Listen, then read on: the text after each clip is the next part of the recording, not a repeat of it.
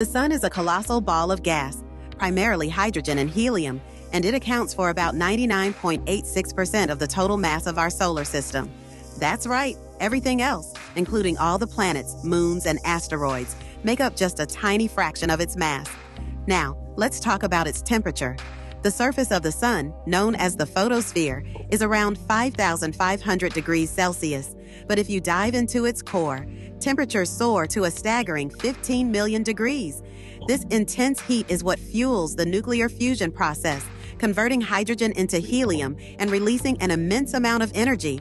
Finally, did you know that the sun is about 4.6 billion years old? It's been shining for a long time and is expected to continue for another 5 billion years before it transforms into a red giant and eventually settles down as a white dwarf. So, the next time you bask in its warmth, remember just how powerful and ancient our sun truly is.